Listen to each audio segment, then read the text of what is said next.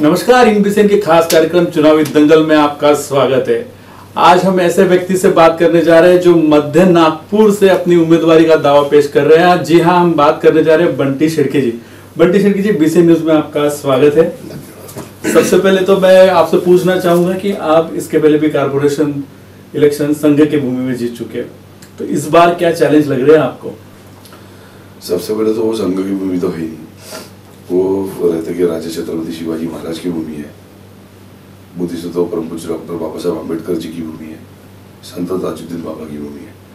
और चुनाव वहाँ पर जीतने के बाद में, चुनाव जो है, चुनाव वहाँ की जनता ने मुझे वहाँ पर चुनाव जितवाया था, क्योंकि जनता के बीच में रहकर, जनता के जो अलग अलग जो मुद्दे थे, उनकी समस्या थी, उनकी समस्या को निराकरण कर, वो जनता ने सम्मान्य प्रभा कटरा के सम्मान्य नागरिकों ने, मतदाताओं ने मुझे 2017 में एज ए उनका कॉर्पोरेटर मुझे वहाँ पर चुन कर दिया था। जी, हमेशा ही मध्य नागपुर कांग्रेस का गढ़ माना जाता था। पिछले दस सालों से वहाँ पे बीजेपी की राज कायम हो चुका है।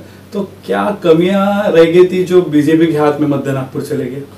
आपने जो शब्द को प्रयोग किया कि वहाँ पर बीजेपी का जो राज है लेकिन बीजेपी का राज न होते हुए वहाँ पर जो है तो फिर जनता को भी उनके ऊपर में नाज रहना चाहिए। लेकिन ऐसा कहीं पर भी कुछ है नहीं। और रही बात तो दस साल से जो बीजेपी भारतीय जनता पार्टी के उम्मीदवार जो है, दस साल से जो जीते, लेकिन जीतने के बाद में एक प्रकार से इनकी जो छवि है, ये छवि एज अ मोनी बाबा बनकर जो उभरे हुए कि मोनी बाबा करके जो उभरे हुए लोक प्रतिनिधि बनकर जो काम उन्होंने जो किया लेकिन उस पर जनता का यही कहना है कि इन्होंने आज तक जो भी मध्य नागपुर के जो सवाल होंगे की जो समस्या होगी, उस समस्या के ऊपर में उन्होंने कभी भी जो है विधानसभा में उन्होंने प्रश्न वहाँ पर उपस्थित किया नहीं। उन्होंने खुद के सरकार के विरुद्ध में भी उन्होंने अगर कोई गलत, अगर डिसीज़न निर्णय अगर होते हैं तो वो रास्ते पे कभी उतरे नहीं। इस प्रकार से जो है जनता उनसे बहुत ज़्यादा नाराज़ है।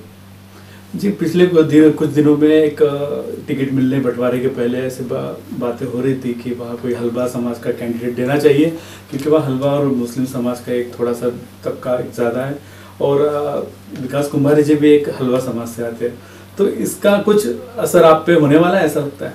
नहीं बिल्कुल नहीं क्योंकि मध्य नागपुर की जो सम्मान्य जो नागरिक है नागपुर की सम्मान्य नागरिक है हमने इसके पहले भी देखा है। अगर कुछ अगर मान लीजिए कुछ समाज अगर एक दो परसेंट भी अगर होंगे तो तो भी यहाँ नागपुर की जो जनता है, नागपुर की सम्मान्य नागरिक जो है, वो नागपुर के सम्मान्य नागरिक यहाँ पर अच्छे अच्छे नेताओं को उन्होंने चुनकर जो है संसद तक उन्होंने चार चार पाँच पाँच बार भेजा हुआ है। तो इसलिए यहाँ पर जातिगत समीकरणों के हिसाब से जो है यहाँ पर यहाँ की मध्य नागपुर की जनता ये निर्णय लेती नहीं, ये काम देख के निर्णय लेती है। जिस प्रकार से हमने पिछले नागपुर से चार बार जो है, चार बार हमारे सांसद सम्मानीय कुमार साहब भी यहाँ पर जो है चुनकर यहाँ पर यहाँ पर सम्मानीय नागरिकों ने उनको लगातार उनको चुनकर जो दिया था। और रही बात जातीय समीकरणों की तो जनता का यही कहना है मध्य नागपुर की की ना जाती ना ना बाती ना। बंटी, तू तयार झालेला आहे मध्य नागपूरच्या मातीनं जी हाँ आपके आपने कहा कि जैसे कोई विलास मुत्तेमार जी की बात की है, कुछ दिन इन्होंने कई सालों से यहाँ नागपुर को संभाला है उन्होंने। तो ऐसा क्या हुआ जो उनके यहाँ से भी सत्ता चलेगी? अब जो हेवी वेट नेता जो मध्य नागपुर में रहे थे, उनका कोई असर होगा आप पे? नहीं, सत्ता हाथ से जाना ये और बात है। कांग्रेस पार्टी ने कभी भी जो है सम्मानीय नागरिकों को कोई भी झूठे आश्वासन देके उनको कभी बरगलाया नहीं है। और यही है कि झूठे आश्वासन देके ये लोग सत्ता पे बैठे, सत्ता के गद्दी पर ये लोग आसीन हुए। लेकिन उसके बाद में आज देश में किस प्रकार का माहौल है व्यापारियों में किस प्रकार का माहौल है किसानों में किस प्रकार का माहौल है ये सारी चीज़ों जो है सारी चीज़ें जनता के सामने है और आने वाले इक्कीस तारीख को ये जनता इनको इनकी जगह निश्चित रूप में दिखाने वाली है। क्या लगता है मध्य नागपुर का डेवलपमेंट के बारे में क्या कहोगे? पिछले दस साल में क्या हुआ है और किस चीज़ की ज़रूरत लगती है आपको मध्य नागपुर में डेवलपमेंट यानी विकास। लेकिन जिनके नाम में विकास है लेकिन काम में विकास नहीं। ऐसी मध्य नागपुर की जो जनता है, मध्य नागपुर की जनता ने ये निर्णय तो लिया है कि वो बदलाव ये आने वाली इक्कीस तारीख को करने वाली है। और डेवलपमेंट की अगर बात कही जाए तो सिर्फ़ एक बिल्डिंग में अगर समझ लीजिए तीन सौ करोड़ रुपये खर्चा कर कमीशन सिर्फ़ लोगों से ऐंठना, उसके लिए बिल्डिंग बनाना, जैसा मेयो की हम अगर बात अगर किया जाए एक बहुत बड़ा अस्पताल हमारे मध्य नागपुर क्षेत्र में मेयो का अस्पताल, सरकारी अस्पताल है। शरीर में अगर समझ लीजिए खून ही अगर रहेगा नहीं तो शरीर किस काम का, उस प्रकार का उस प्रकार से समझ लीजिए मेयो की आज स्थिति बनी हुई है। बिल्डिंग में तो 300 करोड़ रुपए खर्चा कर दिया लेकिन वहाँ पर ना एक्सरे की मशीन है, ना सीटी स्कैन की मशीन है, ना वेंटिलेटर्स है। और वेंटिलेटर्स अगर होगी भी तो बंद पड़े रहते। आज मध्य नागपुर के सम्मानीय नागरिकों को सम्मानीय मतदाताओं को, जनता को आज मेयो इतना बड़ा सरकारी अस्पताल रहने के बावजूद उनको बाहर प्राइवेट अस्पताल में वहाँ पर जाकर उनको इलाज वहाँ पर करना पड़ रहा है। डागा की स्थिति आप देखिए डागा की स्थिति अगर देखेंगे, आज भी अगर देखेंगे तो वहाँ पर भी जो है, वहाँ पर डिलीवरी के लिए, वहाँ पर बाहर जो है, वहाँ पर हमारी सम्मानीय महिलाओं को वहाँ पर जाना पड़ रहा है।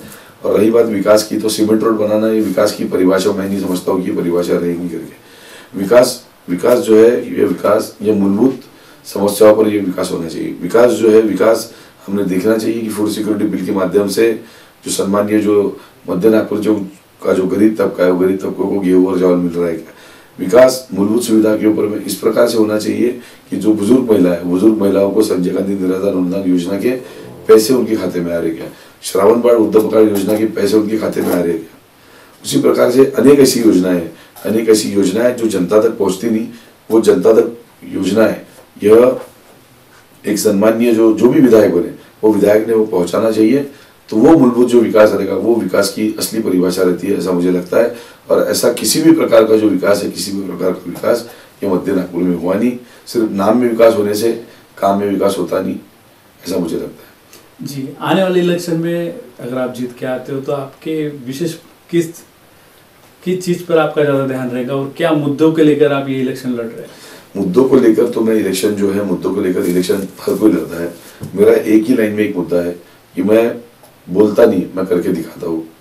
यानी भारतीय जनता पार्टी का मैनिफेस्टो बहुत लंबा मैनिफेस्टो इसके पहले भी उनका मैनिफेस्टो जितना बड़ा मैनिफेस्टो था, लेकिन पाँच प्रतिशत भी काम जो है उन्होंने जो भी आश्वासन जनता को बरगला के जो उन्होंने जो दिए थे, लेकिन पाँच प्रतिशत भी आश्वासन की जो है पूर्ति उन्होंने आज तक की नहीं।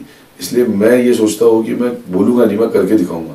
और करने के बाद में आने वाले, उसके बाद के पाँच साल में जनता खुद निर्णय लेगी कि बंटी ने जो, यानी कहा था उसने करके दिखाया। जी हाँ आप पिछले कुछ दिनों से प्रचार में एक घुते हुए हो।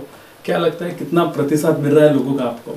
प्रतिशत अगर देखा जाए तो किसी भी गली में आज मध्य नागपुर में अगर गया तो आज मध्य नागपुर में हमारे एक कुल मिलाकर अठहत्तर हज़ार मकान आते हैं। तो अठहत्तर हज़ार मकानों में पद यात्रा न करते हुए दौड़ यात्रा सुबह सात बजे से लेकर तो तीन बजे तक फिर चार बजे से लेकर तो रात के नौ बजे तक। ऐसे निरंतर आठ तारीख से लेकर तो कल तारीख अठारह तक तक मैंने पदयात्रा न करते करते हुए दौड़ यात्रा की।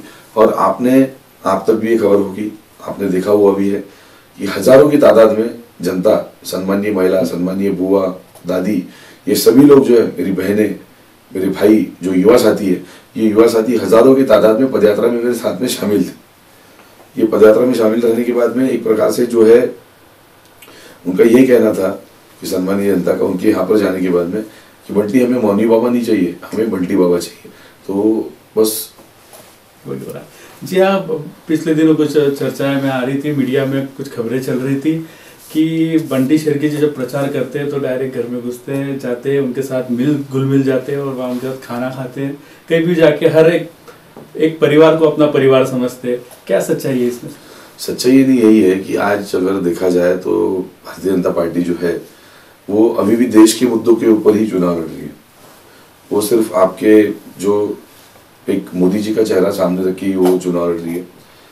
लेकिन मोदी जी का चेहरा सामने रखकर जो चुनाव वो इसके पहले भी 2014 के पहले लड़ा तो वो सिर्फ़ झूठे आश्वासन उन्होंने दिए थे। लेकिन मैं आपके माध्यम से जनता से कहना चाहता हूँ कि ये देश का चुनाव नहीं है, देश का चुनाव ये संपन्न हो गया। ये भी आपसी रिश्तों का हमारा ये चुनाव है। आपसी रिश्तों का ये चुनाव रहने के बाद में हमने एक परिवार, एक मध्य नागपुर में, आज समझ लीजिए छिहत्तर हज़ार जो परिवार है, ये संपूर्ण जो परिवार है छिहत्तर हज़ार, ये मेरे परिवार है। क्योंकि आज लोक प्रतिनिधि बनकर जो आज मुझे ऐसा लगता है कि चौबीस तारीख को मुझे मध्य नागपुर से विधायक बनकर जो भेजेंगे तो ये हमारा एक परिवार है। परिवार में आज गरीब भी तबका रहे, या मिडिल क्लास तबका रहे, या बहुत ऊँचा तबका रहे, ये हर तबके को साथ में लेकर एक विधायक ने चलना चाहिए, ऐसी मेरी सोच है। इसलिए पदयात्रा करते वक्त अगर भूख अगर लगी तो धोने वाले अगर खाना है तो क्योंकि समय था नहीं समय एक दस बारह दिन का जो समय मिला तो घर न जाते हुए सम्मानीय हमारे यहाँ के जो नागरिक थे उन्हीं के यहाँ पर जो है मैंने दो निवाले कर कर अपनी पद यात्रा दौड़ यात्रा मेरी चलती रहती थी। जी हाँ क्या लगता है कि आने वाले इलेक्शन में कितना डिफरेंस रहेगा मध्य नागपुर में? डिफरेंस ये रहेगा कि जहाँ जहाँ मैंने पदयात्रा की तो एक अलग प्रकार का जो स्पार्क अलग प्रकार का एक एक्सप्रेशन जो लोगों के चेहरे के ऊपर में थे। इन्हें वो चेहरा ही मुझे दिखाता था कि मैं जो है कि बंटी हमारी जीत जो है हमारी जीत करीब करीब तीस हज़ार के ऊपर हमारी जीत रहने वाली है। ये सम्मानीय नागरिकों के जो छिहत्तर हज़ार परिवारों के घर जाकर मैंने उनके जो चरण स्पर्श किए तो एक प्रकार से अ, उनका चेहरा देख के ही मुझे लगा कि ये निश्चित रूप पर हम तीस हज़ार के ऊपर में हम यहाँ पर से हम हमारा चुनाव ये जीतने वाले हैं और चुनाव डंके की चोट पे जीतने वाले जी हाँ जाते जाते एक आखिरी सवाल नागपुर की क्या स्थिति लगती है? आपको छह सीटों में कितनी नागपुर नागपुर सीट की छह की छह सीटें जो है छह की छह सीटें हम लोग आज कांग्रेस पार्टी एक तरफा ये जीतने वाली है। चाहे देवेंद्र फडणवीस जी जी के विरुद्ध में आशीष जी देशमुख ये भी जो है हज़ारों की तादाद में हज़ारों के वोटों से वो जीतने वाले हैं। सम्मानीय विकास जी ठाकरे ये पश्चिम नागपुर से जीतने वाले हैं। हमारे नेता सम्मानीय नितिन जी राउत ये उत्तर नागपुर से अच्छी लीड से चुनाव जीतने वाले हैं। उसी तरीके से पूर्व नागपुर से पुरुषोत्तम जी हजारे ये भी अच्छी लीड से वो चुनाव जीतने वाले हैं। और दक्षिण नागपुर से रही बात तो गिरीश जी पांडव, ये भी एक तरफा ये चुनाव, ये हमारे नागपुर से और दक्षिण नागपुर से निकालने वाले जी हाँ ये थे हमारे साथ दक्षिण नागपुर मध्य नागपुर के उम्मीदवार बंटी शेटके जी। स्टूडियो में आने के लिए बहुत बहुत धन्यवाद। आप देखते रहिए इन न्यूज़ नमस्कार।